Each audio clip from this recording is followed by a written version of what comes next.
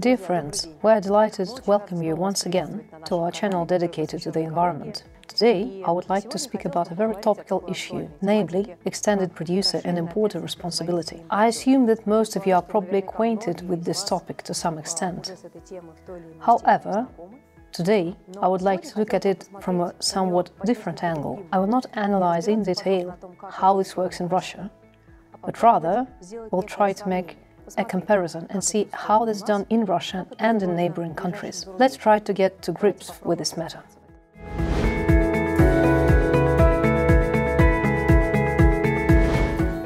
Here is what extended producer responsibility, which is also abbreviated to EPR, involves in a nutshell. The substance of the concept is most probably well known, and it consists of the producer or the importer of a product which has respectively produced the product or imported it into the country, being obliged to ensure that such product is disposed of at the end of its life cycle. In Russia, this obligation was introduced by statute in 2015. However, it is worth noting that in a global context, this idea is much older. It was first put forward in Sweden in 1990 by a famous activist, Thomas Lindhqvist, who is a Swedish ecologist. As early as 2001, the OECD published a guidance manual for the governments of the organization's member states. Currently, the concept is implemented practically in all developed global economies. The purposes of this concept are basically similar in all countries. First and foremost, the purpose is to implement the fair polluter pays principle. In addition, the purpose is to prevent new waste from being formed and to create a closer product life cycle. This certainly involves producing easily recyclable products and extending their life in general. And of course, launching and developing recycling. As for the items subject to EPR, in most countries they include basically the same products. They naturally include electrical and electronic equipment, for instance batteries and accumulators, which are well known to us. Packaging certainly is also on the list. It is probably the fact known to most people that packaging actually accounts for half of global waste. Therefore, packing is a priority concern for the government when the issue arises of who is responsible for waste. In addition, items subject to EPR certainly include household chemicals, cars, spare parts and oils. Office accessories, carpets and medicines are also classified as items subject to EPR.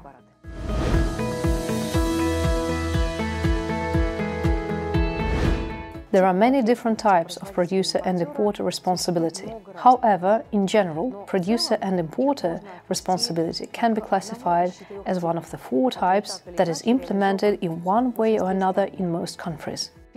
The first type can loosely be called simple financial responsibility.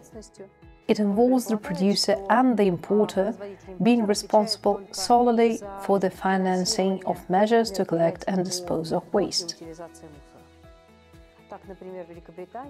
Thus, for instance, the United Kingdom uses what are called packaging recovery notes that are sold for financing to be obtained for implementing relevant measures. The second type of responsibility can loosely be classified as financial responsibility under contracts with municipalities. This involves the producer and the importer concluding a contract with the local authorities and paying them for the service of collecting and disposing of specific products. And this is where the EPR responsibility ends. Moreover, there is a more serious type of producer and importer responsibility, which involves organizational responsibility under EPR, being partially vested in the producer and partially in the municipality. However, the producer alone provides all the financing. Thus, for instance, municipalities are in charge of collecting household waste, while the producer is in charge of recycling and extracting useful properties from the waste. This approach is implemented in Belgium, for instance. And the fourth approach, which is the most stringent one, with respect to the producer and importer, is an approach where the producer and importer bear full responsibility, both financial and organizational, for the product that has been produced. Thus, for instance, in France, a producer of electronic equipment is fully responsible for collecting and recycling the products it has produced. For this purpose, the producer may engage professional contractors or have private infrastructure which allows waste to be collected and recycled. For instance, this applies to the packaging of goods in Germany. As I have already mentioned, in some countries, and in the EU in particular, the concept of extended producer responsibility has been implemented for over 30 years already. However, regardless of such a long period, a well-adjusted mechanism of implementing extended producer and import responsibility cannot be implemented in every case without fail. In Europe, many current issues as well are triggered specifically by the fact that this approach still cannot be implemented, and there are several reasons for this. Most EU member states use the mechanism of collective responsibility. This means that there is a system operator for EPR, and there are producers that are responsible only for financing it, and the system operator responsible for the final result. Therefore, a specific producer lacks motivation, for instance, to use more environmentally friendly packaging. Producers that use packaging that is not environmentally friendly hide behind the backs of those who use more environmentally friendly packaging. Eventually, the operator responsible for the final result. Another issue is that for decades after EPR was introduced, EU member states have been using refractory packaging. For instance, only in 2021 was the production and use of disposable plastic products prohibited in the EU. Previously, such products were freely produced, and the relevant directive has already been implemented in several, albeit not all, countries. In particular, Germany has already included this directive in the domestic legislation. However, another concern emerges at this point, regardless of such prohibition, since producers still need to somehow package their goods and many of them are planning to use or are already using composite paper packaging.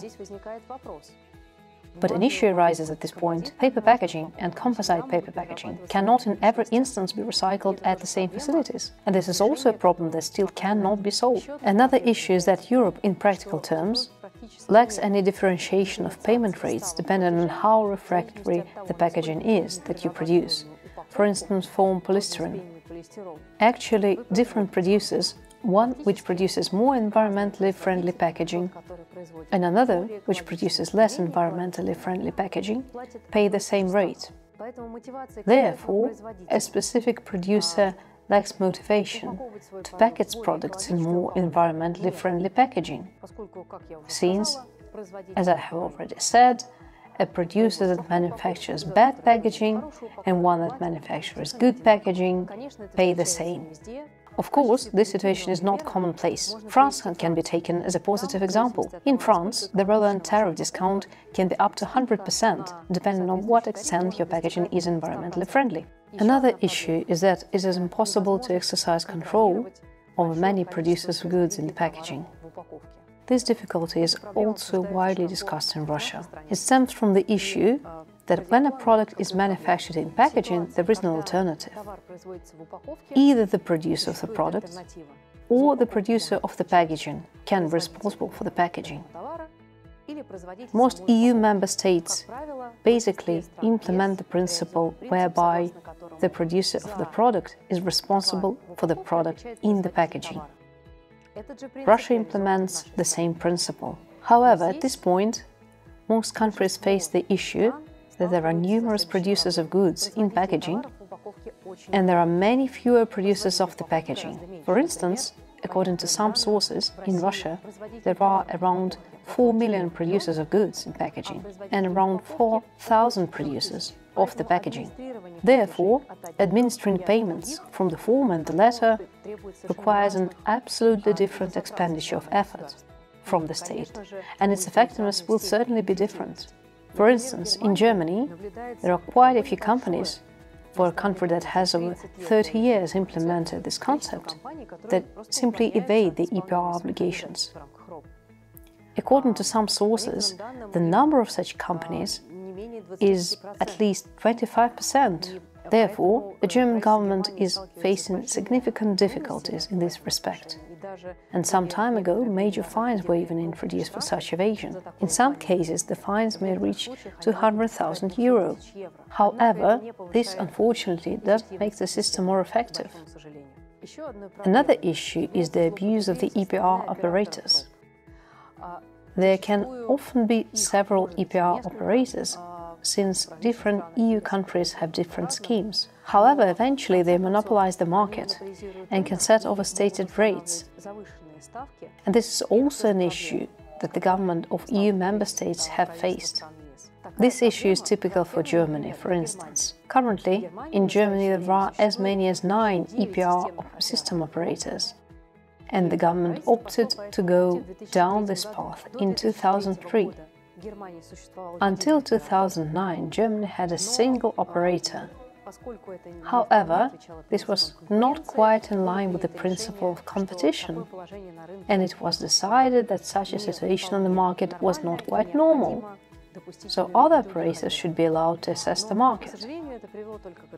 Unfortunately, this resulted only in the nine operators actually obtaining specific authority and a specific position in the market actually forming a cartel. Though it is collective rather than individual, as was the case with a single operator, this still gives rise to the question of their monopoly position. Another issue, which is a curious and typical for Germany, is, for instance, that Germany is actively exporting plastic waste to other countries. If you think this is a recycling effort, you are mistaken. Until 2018, China very actively imported plastic waste from other countries. However, in 2018, China prohibited such import, and therefore since then, Germany has been obliged to redirect its export flows to other countries. At present, Germany is trying to export them to Indonesia, Turkey and other countries which, as part of the general concept of fighting global waste, is probably not a good way out. By the way, amendments that are currently being discussed in Germany for these issues to be overcome in that country. Firstly, it is being discussed that the nine operators should be liquidated and that the concept of single operator should again be applied. And secondly, it is being discussed that responsibility should be shifted from the producer of goods in the packaging to the producer of the packaging. As I have already said, since administrating such producers is an issue which is a completely different extent of complexity, and it can be implemented. A couple of words about how EPR is implemented directly by our neighbors, Kazakhstan and Belarus.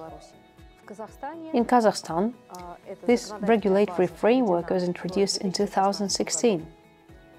Kazakhstan has already had a single operator. Until 2022, this function was performed by the so-called operator EPR. However, after a large-scale theft was identified in 2021, its place was taken by Jasildamul GSC. The positive new developments, which have already been implemented in Kazakhstan and which, we believe, could and are planned to be replicated in Russia, are, as far as we understand, as follows. Kazakhstan has created the single EcoCode business digital platform, which unites all the stages of handling secondary raw materials and all the participants in this process. In addition, Kazakhstan has also implemented a motivation system. Thus, Kazakh enterprises are entitled to subsidies for each kilogram of plastic sent to be recycled. These brilliant ideas, such as, for instance, creating a single digital platform and introducing a motivation aspect, have certainly proved to be highly effective. As far as we understand, our government is also considering creating a single digital platform similar to that in Kazakhstan, which is extremely prudent and definitely making provision for the motivating enterprises. Now I would like to speak about Belarus. Actually, as surprising as it may seem, Belarus made the first step to implement EPR as back as in 2002. In Belarus, just as in Russia, there are two basic scenarios for performing this obligation to enter into a contract with the operator or to dispose of the waste independently. Enterprises mainly use the first option. Belarus has a single operator, which is the public institution operator of secondary material resources. It is interesting that in Belarus, responsibility for a product in packaging has long been imposed on the producer of the packaging. And, just as it is currently the case in Russia, producers of packaging and business were very concerned that this would significantly increase the cost price of products, putting them out of the reach of the end user, or would simply kill the packaging business. Since it turned out that after this concept was introduced, the cost price of products increased only by 9%, which was unnoticed and didn't result in a wave of bankruptcies of packaging companies, as had been expected and as business representatives had feared. Currently, Belarus has a scheme for collecting and recycling municipal household waste, which was formed by using monetary funds intended for EPR. Belarus is also using a mechanism for compensating the costs of collectors and suppliers of secondary raw materials.